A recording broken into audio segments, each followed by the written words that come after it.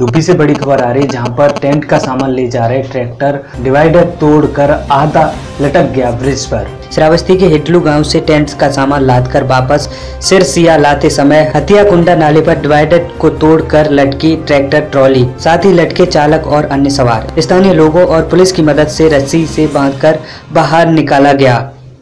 इस दुर्घटना में चार लोग गंभीर हालत में हैं, जिन्हें 108 की सहायता से अस्पताल में भर्ती कराया गया है। जहाँ पर उनका उपचार किया जा रहा है। ये घटना श्रावस्ती बलरामपुर बॉर्डर की है।